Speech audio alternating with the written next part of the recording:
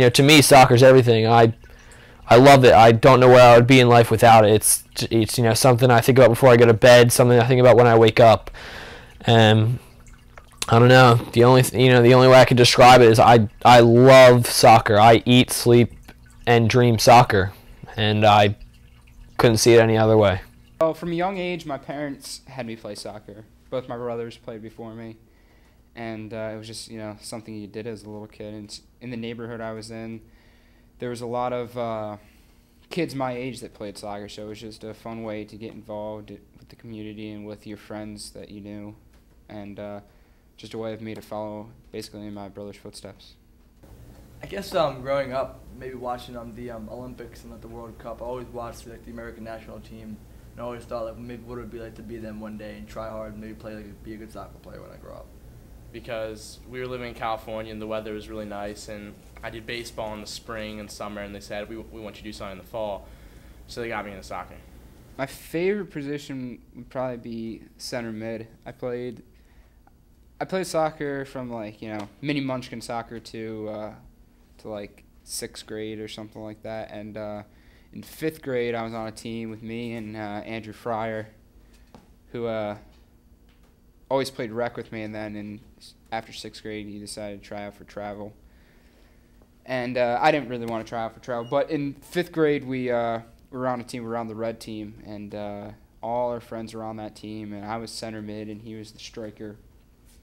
And uh, we had a great season. We, I mean, we would win games five nothing, and it was it was just a lot of fun to play that position.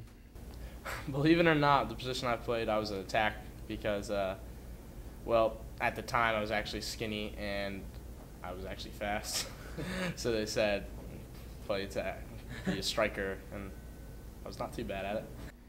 My favorite professional player, well, uh, the the the team I get to watch the most because they're on TV the most is Barcelona, and they have uh, Lionel Messi on their team, and uh, he's just, I mean, talk about an athlete. He, I mean, and skill. He just, he just controls the game the whole time and knows exactly, you know, what's going on at all times, and knows, you know, exactly what he wants to do and how he wants to do it, and most of the time it works out, and he's just unbelievable and can score, can pass. I mean, he's just a really great player, and he's fun to watch.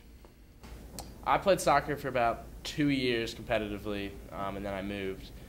But still, for the past I don't know nine or ten years, I still play pickup with all my friends at uh, you know at the local parks and stuff. I still have fun with it. There's just five teams that you know have great history.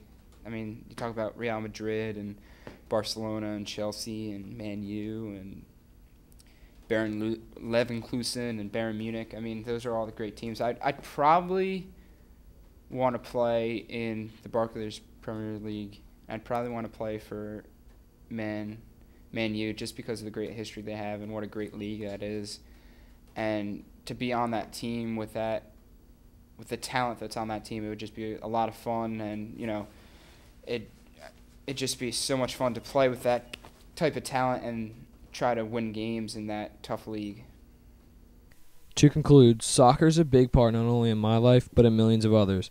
I believe I speak for every soccer player out there when I say that soccer is not only one of America's greatest pastimes, but it's also recognized as one of the greatest games ever created.